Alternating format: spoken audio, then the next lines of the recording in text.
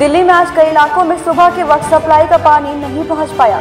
दिल्ली जल बोर्ड के मुताबिक वजीराबाद वाटर वर्क्स में यमुना के तालाब के स्तर में चौहत्तर दशमलव पचास फीट के समान स्तर के मुकाबले इकहत्तर दशमलव अस्सी फीट की कमी आ गई है।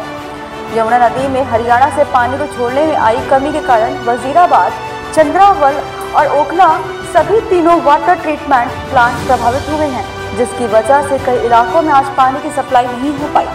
जल बोर्ड की तरफ़ से कहा गया है कि जब तक इन ट्रीटमेंट प्लांट पर पानी का स्तर समान नहीं हो जाता, तब तक इसी तरह पानी की सप्लाई आगे भी प्रभावित होगी। इसके लिए दिल्ली जल बोर्ड ने हरियाणा से यमुना में अतिरिक्त पानी छोड़ने की मांग की है। दिल्ली जल बोर्ड के मुताबिक जिन इलाकों में पानी की सप्लाई प्रभावित हुई है, उन इलाकों में टैंकर के ज़रिए पीने का पानी लोगों तक पहुँचाया जाएगा। दिल्ली जल बोर्ड की ओर से इमरजेंसी में वाटर टैंकर के नंबर भी जारी किए गए हैं, ताकि लोगों को पानी की समस्या का सामना न करना पड़े। जल बोर्ड से जारी किए गए नंबरों पर कॉल करके सरकारी वाटर टैंकर को बुलाया जा सकता है। सरकार की ओर से अलग अलग इलाकों में अलग अलग टैंकर लगाए गए हैं, जिनकी मॉनिटरिंग की जाती है। ब्यूरो रिपोर्ट आई।